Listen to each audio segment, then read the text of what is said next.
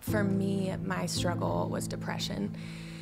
And in depression, it can feel like there's zero light at all at the end of the tunnel. And community is so important. Like, I'm gonna cry even thinking about it.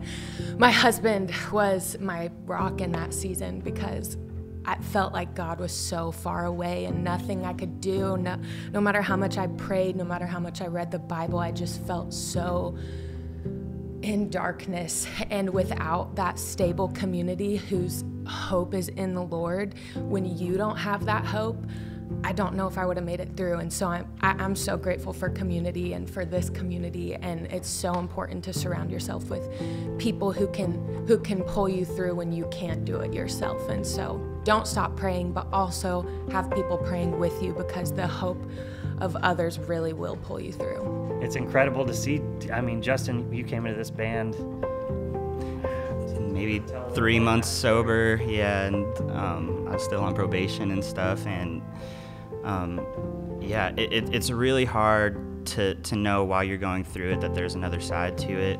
Um, all I can do, I guess, is just share that I felt that way too. Um, but there were people who loved me and believed in me, and God was with me that whole time. So just just don't give up, even though it feels hopeless. Um, you're not unsalvageable, even if it feels like you are. Um, so yeah, just just keep pressing on, and there's big things ahead for you.